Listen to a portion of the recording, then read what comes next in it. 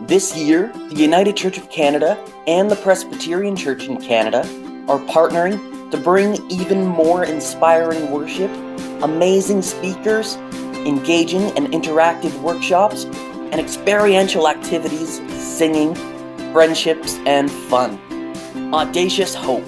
We look forward to seeing youth, young adults, and their leaders at Brock University in St. Catharines, Ontario, July 3rd to 6th. A day at Audacious Hope will include inspiring worship, plenary presentations for youth, young adults, ministry leaders, small group learning for youth, workshops and experiential activities for all ages, shared meals, recreation, and fun.